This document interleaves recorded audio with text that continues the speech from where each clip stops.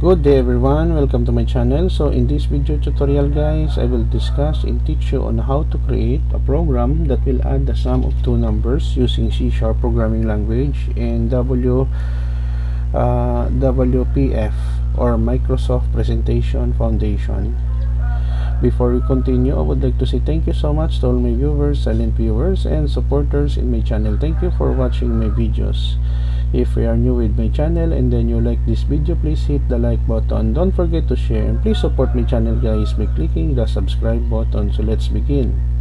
So what is WPF Microsoft introduced Windows Presentation Foundation or WPF in 2007 which replaced Windows Form. Since then the creation of desktop applications has changed considerably WPF allows developers to create event-driven rich client applications for usage on Windows operating system. WPF can be used to develop and design both Windows application and web applications, while WinForms can only be used to develop and design Windows applications. XMLL XAML or Extensible Application Markup Language is used by WPF to, to define the user interface of WPF application. XAML is a declarative language that describes the UI or user interface of a WPF application. In WPF or Windows Presentation Foundation, the user interface in the code can be created and organized separately. The UI or user interface in WPF or Windows Presentation Foundation is based on XAML which is extensible and allows you to design a specific interface without knowing whether it will be written in C Sharp or VB.NET or Visual Basic.NET. As a result, the full UI or user interface design can be, but it is not required to be completed by someone unfamiliar with the programming language to be used. WPF or Windows Presentation Foundation comes with support for a wide range of video formats, records, 3D material, and a lot of built-in animation while Windows Forms does not offer much rich interactive animated hardware accelerated with Vector 2D and 3D capabilities compared to WPF or Windows presentation foundation. For the reference i have here https section io in engineering dash education wpf versions winforms sharp what is wpf okay guys so let uh, uh, we know already what is the advantage of wpf no or windows presentation foundation. So it is very clear that the benefits of wpf in creating an application is that you can create two types of application the desktop application in Microsoft Windows and then as well as web applications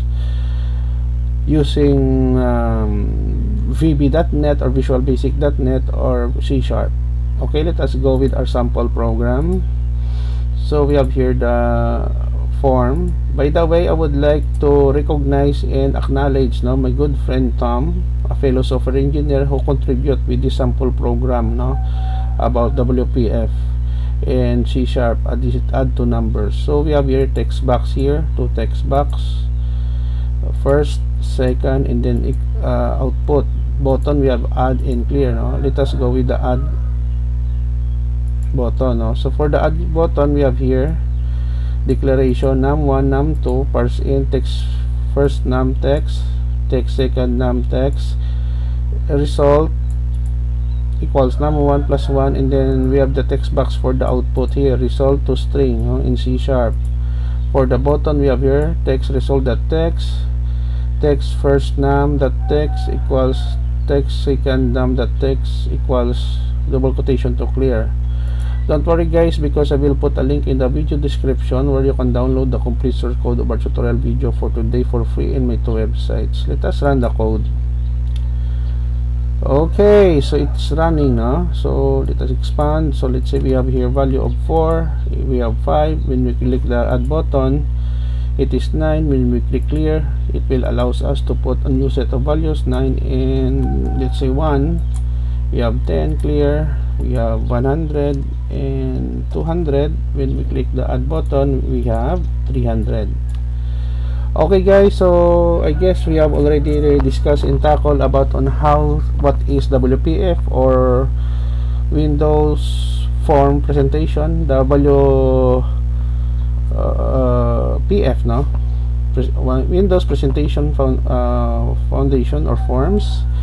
Thank you so much guys for watching. I hope that you have learned something new in this tutorial video don't forget to like share and please support my channel guys if you are new by clicking the subscribe button. See you in the next video tutorial guys. This is your friend Jake saying bye bye for now